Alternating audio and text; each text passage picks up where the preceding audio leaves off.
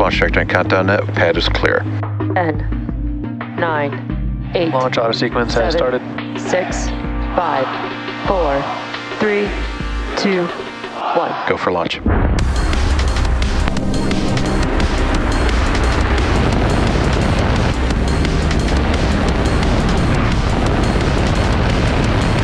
Vehicle is supersonic. Stage separation confirmed. Dragon, separation confirmed.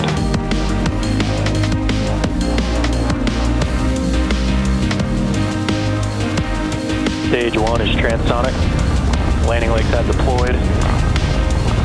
And Falcon 9 has landed. Hello, everyone, and thanks for joining us today for our Falcon 9 launch of the European Commission's Galileo L12 mission from Florida. Falcon 9 is set to lift, lift off from Kennedy Space Center's Launch Complex 39A in just about nine minutes from now. My name is Yo Mezo, and I'm a propulsion engineer here at SpaceX. T- today's mission is a special one.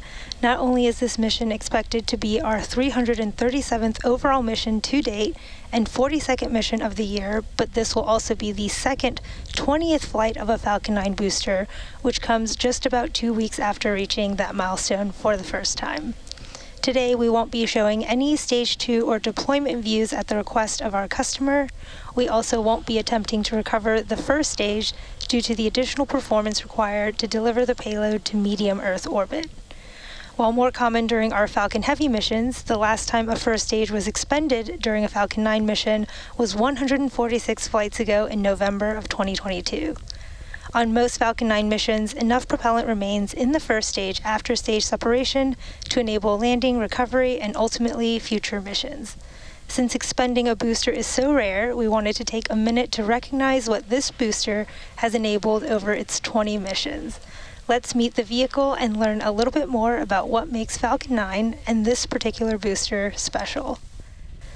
A Falcon 9 is a two stage rocket that is designed and manufactured by SpaceX for the reliable and safe transport of people and payloads into Earth orbit and beyond.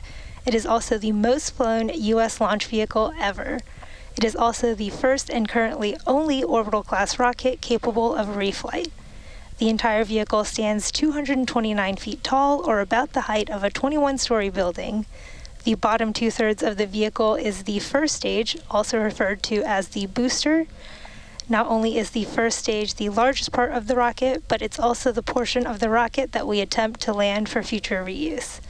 Reusability is a critical part of our goals of reducing the cost of access to space and making life multiplanetary. To that end, we are working towards qualifying our fleet of Falcon boosters and fairings to support 40 missions each. The specific booster made its debut in June of 2020, and since then it launched about 200 spacecraft as part of our rideshare program. It supported 13 Starlink missions to help connect people all around the world with high speed, low latency internet. It's broken the world record for orbital flight turnaround twice. It's launched the first successful American lunar lander since 1972, and so much more. In total, this Falcon has delivered 228 metric tons to Earth orbit and beyond. Congratulations to the entire SpaceX team for your part in enabling the science, research, connectivity, and exploration the single Falcon 9 has helped deliver. Turning our attention back to the pad, above the first stage is the second stage, which has a single Merlin vacuum or MVAC engine that ignites after the first stage separates. Stage one, RP1 load complete. There is the RP1 load complete on stage one. And again, the second stage on top of that first stage is what will carry today's payload into orbit. And located above that second stage is the payload fairing at 17 feet in diameter. The carbon composite fairing protects satellites on their way to orbit and is jettisoned approximately three minutes into flight. The fairing house supporting today's mission are both flight proven, with both flying for their fourth time. This mission also marks the 200 mission to use flight proven fairings. Now, after separation from the second stage, both fairing halves will return to Earth and will be recovered by our recovery vessel, Bob. We are a little over five and a half minutes away from liftoff, and at this point in the countdown, we are waiting for the clamp arms to begin opening up beneath the fairing and for the transporter erector to begin to retract away from the vehicle in preparation for liftoff. You might notice that since this we are not attempting to recover the first stage, you will see that the landing legs and grid fins are not installed on this particular booster.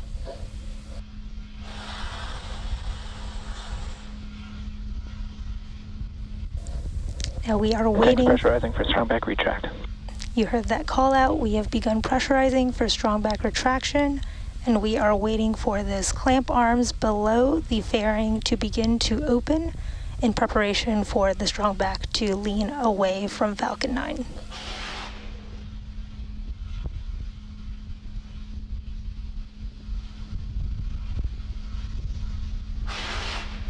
Strong back retract has started. That's the call out for the strong back retraction sequence starting and you'll see those clamp arms right below the Falcon 9 fairing begin to slowly open here.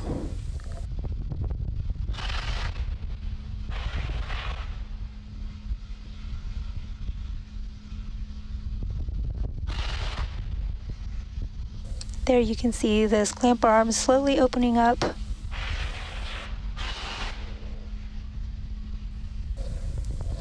And in just a few moments here, that truss structure next to the Falcon 9 will begin to slowly recline in preparation for liftoff.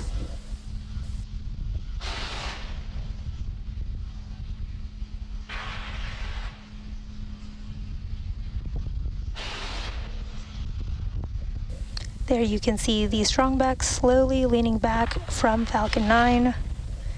Now, both the first and second stage of, of, Falcon 9 are nearly fully loaded with 1 million pounds of kerosene fuel and liquid oxygen. Now, both the first and second stages should finish loading propellant about a minute apart from each other. And the first stage should be wrapping up in just a few seconds here at T minus three minutes, with the second stage following at about a minute after that at T minus two minutes.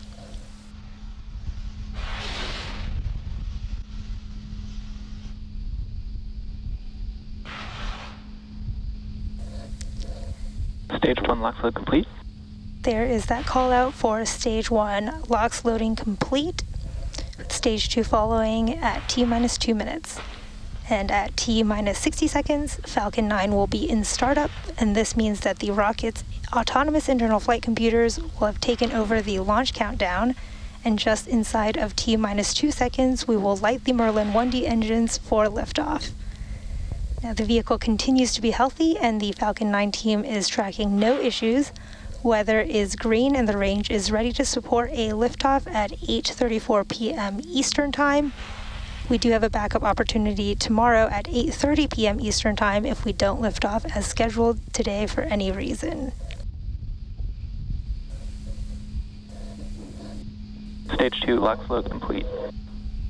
There is that call out for stage two liquid oxygen loading complete. We are now fully loaded with over a million pounds of liquid oxygen and kerosene propellant on Falcon 9 first and second stages. Again, that white cloud you see on the left of your screen is uh, normal and expected. It is venting from the transporter erector liquid oxygen line.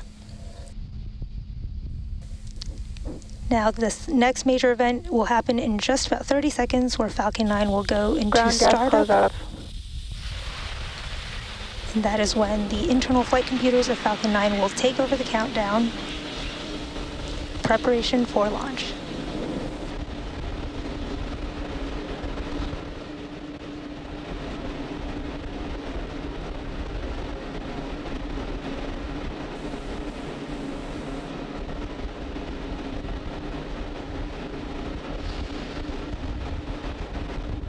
Falcon 9 is in startup.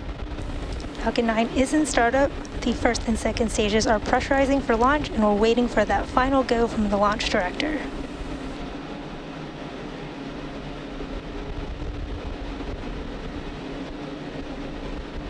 Uh, countdown Falcon and Galileo, go for launch. You heard that final go for launch from the launch director. All systems are go for a launch of Falcon 9 and Galileo L12. T minus 30 seconds.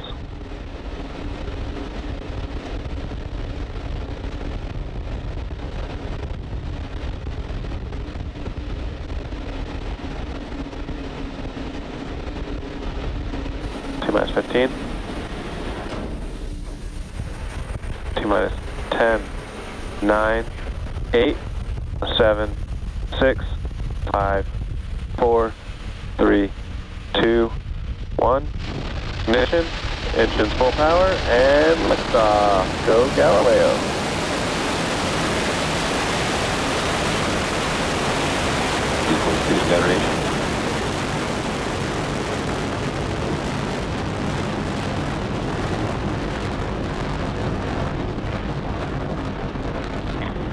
M1D chamber pressure is nominal.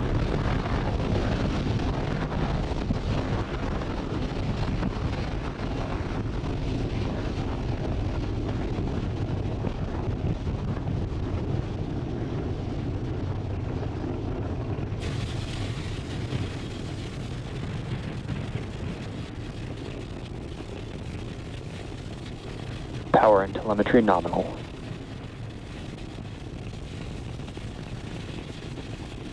Falcon 9 has successfully lifted off from pad 39A and throttled down in preparation for max Q in just about 10 seconds here. Falcon And 9 is supersonic. Now, Falcon 9 is supersonic and heading into max Q, which is the highest amount of aerodynamic pressure that it sees during ascent.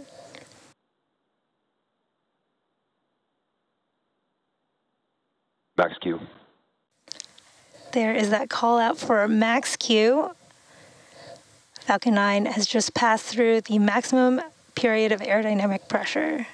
Now, with that call out, we have three events coming up in quick succession, starting with main engine cutoff or MECO, followed by stage separation and SES 1 or second engine startup 1. Main engine cutoff or MECO is where all nine of the M1D engines on the first stage will shut off to slow the vehicle down in preparation for stage separation, which is where the first back, Joe. stage, second and second stage separate from each other, with the second stage continuing to second engine startup one. And this is where that single MVAC engine of the second stage will light up and propel the second stage to orbit. Now, in addition to these three major events, the fairing halves will separate less than a minute after second engine startup one.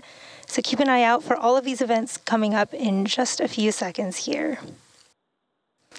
As a reminder, we are not attempting to land our first stage today, as our mission requires more performance, so it will use up the, the fuel typically reserved for landing to complete the mission. We will also not have any stage two views of separation at the request of our customer, but we should see main engine cutoff and stage separation in just a few seconds here.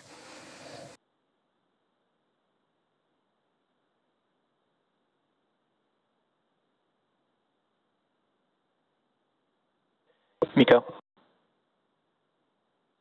Stage separation confirmed. There was main engine And cutoff and stage separation, and you heard that call out for second engine startup of our MVAC engine.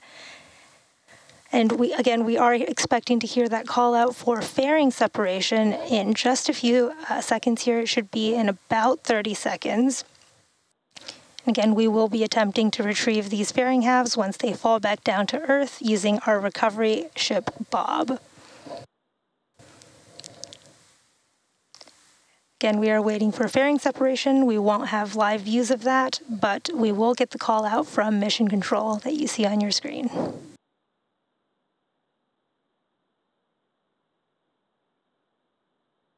Fairing separation confirmed. There was that confirmation for fairing separation, and with that, that will bring today's webcast to a close. Be sure to keep an eye out for updates from our customer regarding their payload deployment and more. If you're interested in more launch coverage, be sure to check spacex.com/launches for the most up-to-date information. Today's mission marked SpaceX's 337th overall mission to date and 42nd mission of this year. To put all of these launches into perspective, we're signing off today with a fun visual of all of our launches and landings to date. Again, congrats on this booster for its 20th flight. Thank you for tuning in, and we'll see you again soon.